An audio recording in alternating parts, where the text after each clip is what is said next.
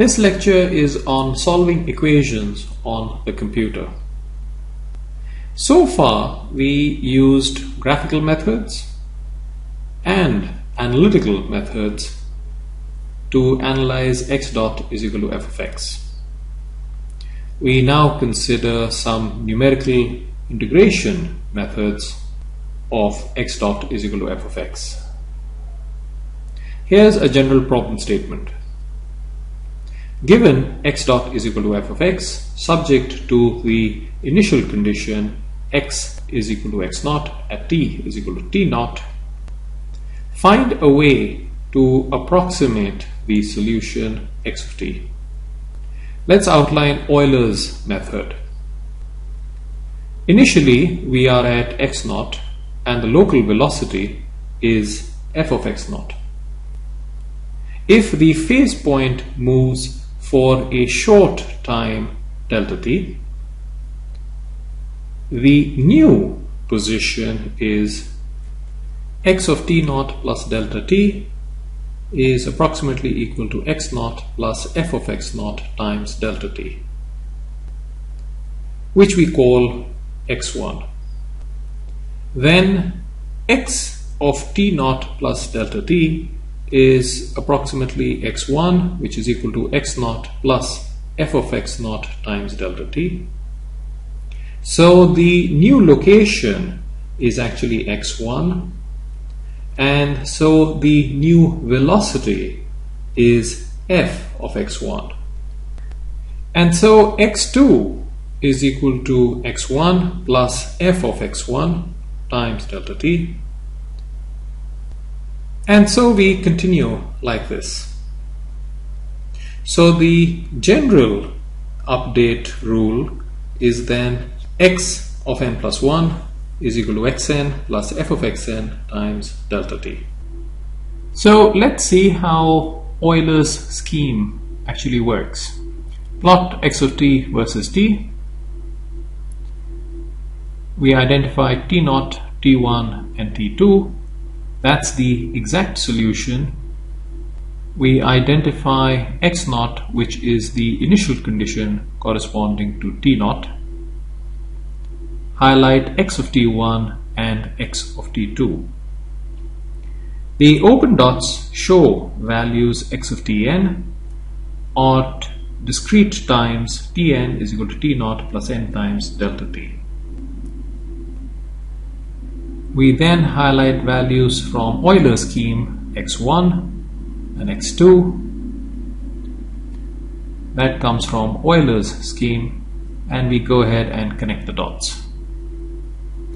The closed dots show approximate values given by Euler's method.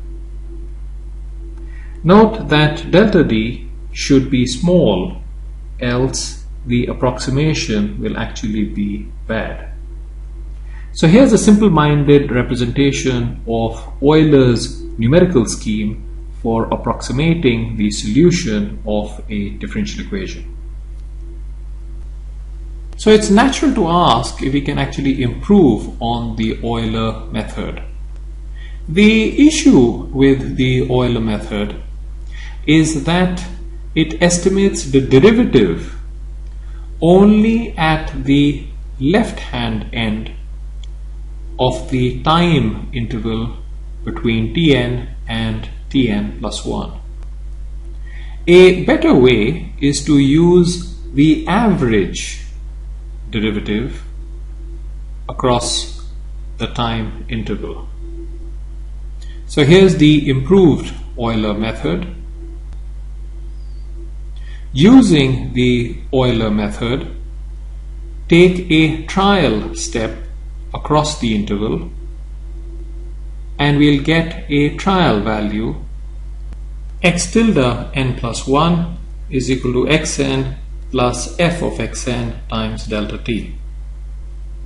Then we average f of xn and f of x tilde n plus 1 and use it to make the real step across the interval. The method is as follows x tilde n plus 1 is equal to xn plus f of xn times delta t, which is the trial step. Then xn plus 1 is equal to xn plus a half of f of xn plus f of x tilde n plus 1 times delta t and this is the actual step.